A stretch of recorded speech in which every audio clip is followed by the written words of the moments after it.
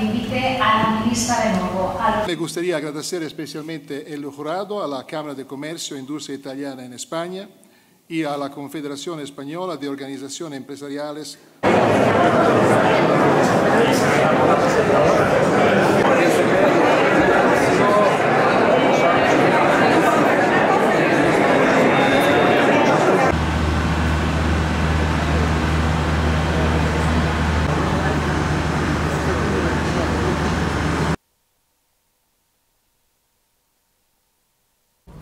Esta máquina puede, Puede. puede Sí.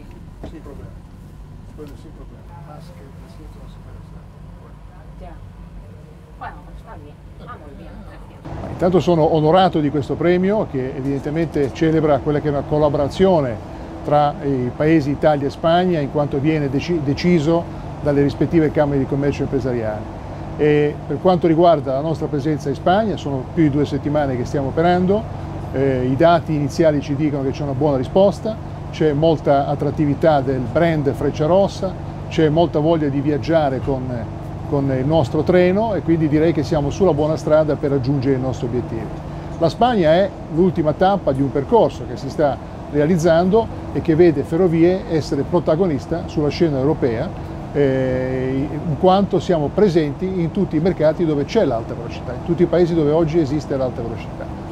In prospettiva anche noi ambiamo a poter collegare la Spagna con la Francia attraverso Barcellona verso, verso Parigi.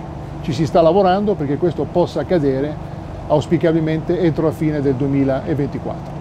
Per quanto riguarda il mondo delle infrastrutture, stiamo facendo, realizzando un piano di investimenti molto ambizioso, che ovviamente beneficia in prima battuta del PNRR, che, che prevede 25 miliardi assegnati al nostro gruppo, in particolar modo a Rete Ferroviaria Italiana. Abbiamo dovuto fronteggiare delle criticità legate all'aumento dei prezzi dell'energia, ma soprattutto dei materiali che si sono riverberati sui costi di realizzazione delle opere. Su questo il governo ci è venuto incontro attraverso il decreto aiuti e quindi siamo eh, ripartiti lanciando le gare come da programma.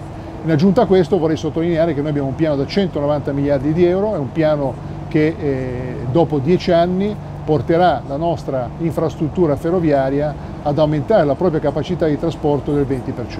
E questo è estremamente importante non solo per i passeggeri ma anche per le merci.